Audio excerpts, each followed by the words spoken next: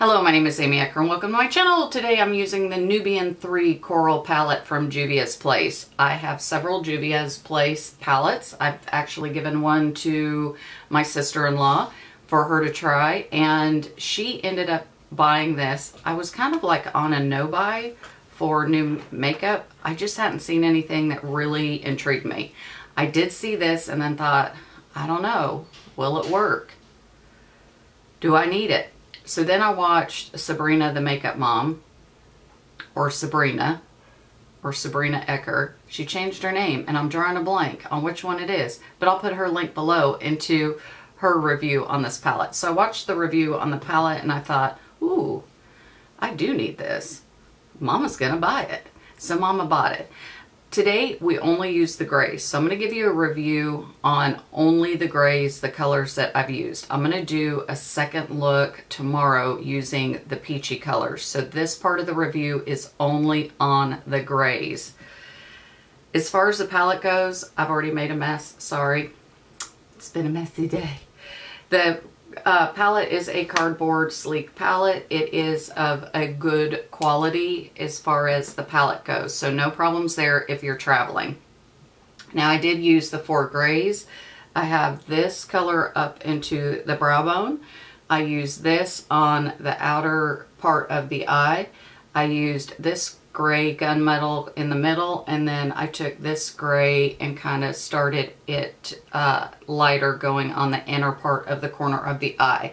So my initial thoughts are the, the colors in the pan here and here tend to be a little bit darker than what they actually go on on the eye. I had expected this one to go on pretty strong. It didn't. So if you like light grays and you're afraid to use grays because they are, um, they might be too dark or hard to blend, etc., these two are going to be great for you. So I did use kind of a packing technique um, to pull up more of the product and get the a little bit darker, but I still wish that this color had been like it is more in the pan, which is, you know, kind of a darker color. So for me, it it is they blend well. They're beautiful.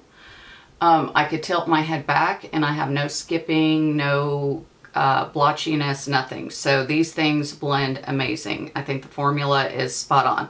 I just wish that this would have been a little darker. Now, as far as these two babies go, they perform just like they do in the pan. So there wasn't any surprise there. Um, the gunmetal and then the little bit lighter gray, this light gray just went on like butter. Um, this gunmetal color went on perfect. I didn't need to use my fingers. I was actually able to use a brush, which I really would rather use a brush than my finger. So I give that one like an A+. plus. I can't wait to see um, what other, I probably can do a good two more looks out of this, but I know that I'll put at least one more on my channel just to give kind of an idea of how did the rest of the colors perform. So that is my first impression on the Juvia's Place palette in the corals. So if you'd like to see how I came up with this grayish look to go with my blue dress today, you are in the right spot, so stay tuned. I'm to start with this grayish color here. I'm to take this gray color here, put it on one side of the brush. I'm to flip it upside down and work that into the crease. In all honesty, I thought this gray was going to be a lot darker. And I was really going to go for more of a gray kind of smoky-ish look because I left some smoke. It doesn't seem to be as dark going on as what it is in the pan. So I'm going to grab this darker gray foiled shadow. Then we're going to use the lighter for the inner corner. I'm going to pick back up the gray and kind of blend out any Make harsh it lines. has a gunmetal eyeliner that they just released this year. So we're going to use that underneath the lash line. I haven't used the Inglot in a while, so we're going to pick up this as a liner for the upper lash line.